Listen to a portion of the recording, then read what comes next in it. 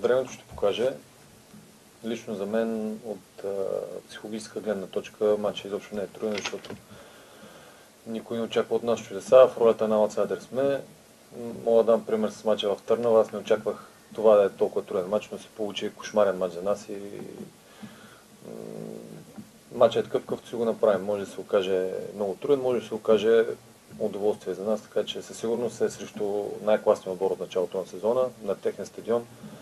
Но мисля, че от тук трябва само да извлечем позитиви, да, да излезем, да покажем самочувствие. За мен най-важното е да покажем самочувствие, да, да се доближим максимално нашите възможности и смятам, че може да се противопоставим добре на Страсбург.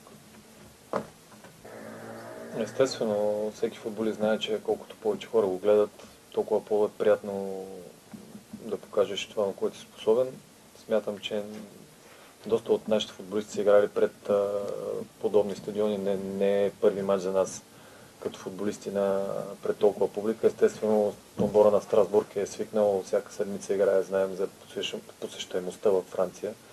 Но не смятам, че по някакъв начин ще сме стреснати или ще повлияе негативно на това, че стадиона, надявам се да е пълен. Мисля, че това само може да ни достави удоволствие и да, да покажем още повече от нашите качества. За момента изобщо не мислим за Франкфурт, защото сме доста далече от този матч. Но естествено имаме желание да изиграем още два страхотни европейски матча. Както тренер каза, това за нас е страхотен опит. Отбора на Локомотив не играе всяка година в Европа. Това е постижение за нас като отбор.